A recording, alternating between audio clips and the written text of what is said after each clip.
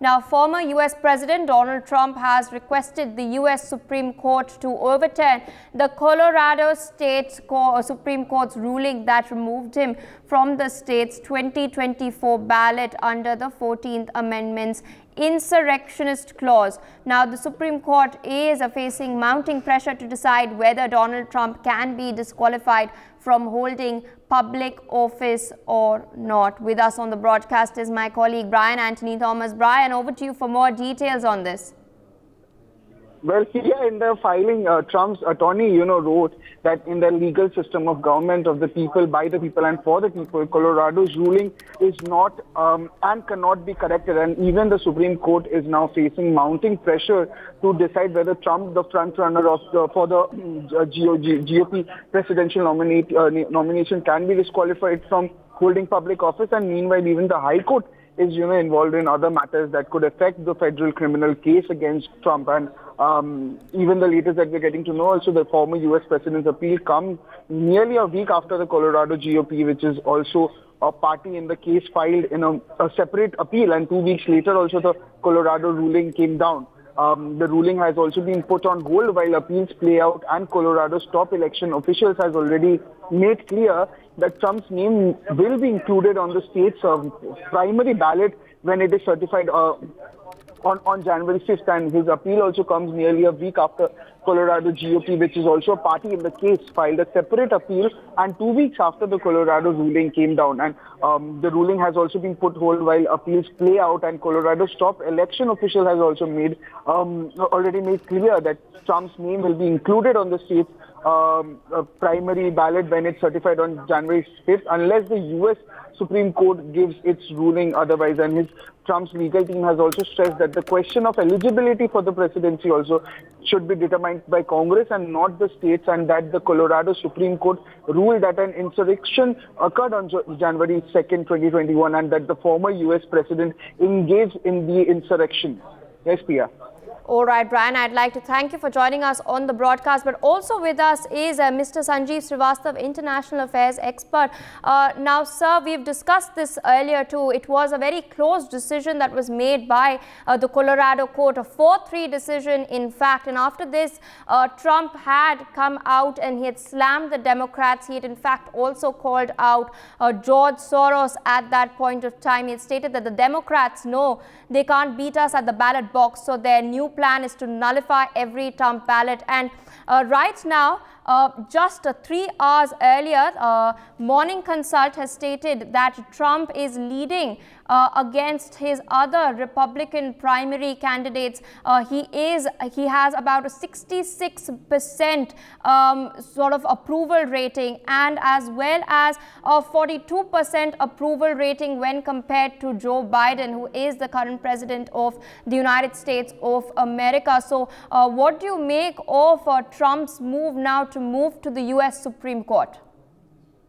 Well, I, yeah, I think uh, uh, at this point of time, uh, uh former President Donald Trump uh, is a clear uh, front runner and in the Republican Party's nomination. and at this point of time, he has requested the Supreme Court of the United States of America also to return this Colorado court verdict. And uh, certainly uh, he is going to fight it on. And every time uh, such verdicts come, every time such rulings comes against him, or any kind of indictments uh, uh, which come up uh, against him, he portrays entire, you know, this kind of, you know, situations as as as, if, as if he is being victimized, and that's what precisely has been saying to his voters that uh, he is uh, uh, being targeted and uh, as a political witch hunt, and uh, he is going to be fighting it on. So what we have seen here is that uh, every time uh, such verdicts uh, and such kind of situation arise in his political career, he portrays it and gets sympathy from his supporters. And, and a number of uh, the, the, the, the amount of funding goes up, the people um, uh, gets more solidified in favor of him, and that is why in various polls he is uh, leading. And, uh, and I'm sure that uh, uh, he going to be the very, very potential formidable candidate for President Biden in, in times ahead and when election comes up. And certainly within the Republican Party base, I think he has got a huge support. So I think if you look at the entire uh, uh, this kind of uh, rulings and verdicts and legal hurdles, President Trump is facing, he is using it as a political tool as well. Uh, that's quite clear. And uh, and uh, and every time, and and that's why he is fighting it hard and he has a very strong team of lawyers, and those lawyers are going to be uh, appealing this verdict, so whether it's Colorado or Maine, verdict uh, to the Supreme Court and uh, and uh, this fight is uh, going to be very interesting. Indeed, and you know, as I had in fact presented statistics earlier, uh, while in fact asking my very first question, it does seem like Trump is uh, the principal uh, opposition leader in the United States of America. Now, foreign media never loses a chance to berate us in a very condescending manner when it comes to opposition in India, uh, which is, by the way, the largest democracy in the world. Now, to see this happening in the oldest democracy in the world, yet foreign media remains mum. So, what do you make of that? This is clearly a bias, and uh, if media is uh, media is honest, then uh, they should uh, criticize uh, United States of America too. And uh, sorry for my disrupting my voice.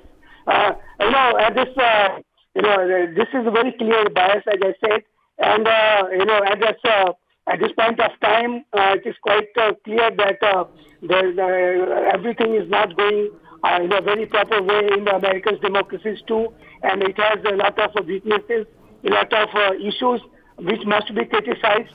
But uh, when it comes to uh, criticism of United States of America, many of those media channels they only you know uh, target uh, the countries of uh, and democracies of other nations, but not the democracy of the United States of America, where mostly they are based, and are the are where are, are they are based in the European capitals.